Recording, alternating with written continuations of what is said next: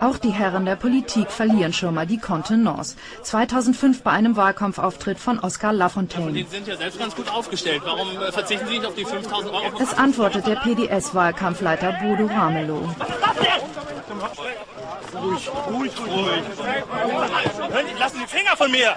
21. Dezember 2022 Sächsische Linken-Mitglieder beantragen Parteiausschluss von Ramelow. Wie das Nachrichtenmagazin Der Spiegel berichtet, haben sie einen entsprechenden Antrag bei der Thüringer Schiedskommission der Linken gestellt. Anlass soll Ramelows Haltung zum Ukraine-Krieg sein. Er hatte sich für Waffenlieferungen an die Ukraine ausgesprochen und sich damit gegen die Linie der Parteiführung gestellt. Laut Spiegel werfen die Antragsteller Ramelow vor, die Partei noch mehr zu spalten und in ihrer Existenz zu gefährden. Ramelow selbst sagte nach Angaben eines Regierungssprechers, ich habe den Brief mit dem Antrag auf Parteiausschluss zur Kenntnis genommen.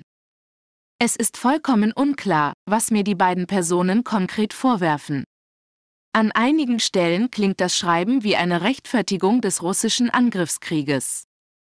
Man kann Kritik an meiner Position zu Waffenlieferungen an die Ukraine haben, aber man darf auch nicht übersehen, wer den Krieg begonnen hat. Ich sehe dem Verfahren mit Gelassenheit entgegen. Ramelow kann demnach bis Mitte Januar zu dem Ausschlussantrag Stellung nehmen. Danach muss die Schiedskommission entscheiden, ob ein Verfahren eröffnet wird. If, uh, if Russia invades, uh, that means tanks or troops crossing the, uh, the, the, border of Ukraine uh, again. Then uh, there will be uh, we there will be no longer a Nord Stream two. We we will bring an end to it. What do, what, how will you how will you do that exactly? Since the project and control of the project is within Germany's control. We will, uh, I promise you, we'll be able to do it.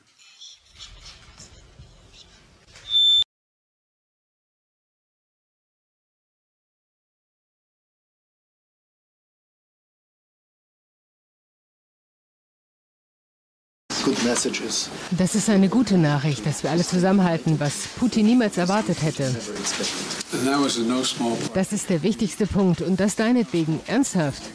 Weil es eine Menge Diskussion gab, als wir noch nicht in der Übergangsphase waren und viel Arbeit. Aber du hast einen hervorragenden Job gemacht und wir danken dir dafür. I want to thank you for it. Thank you, thank you.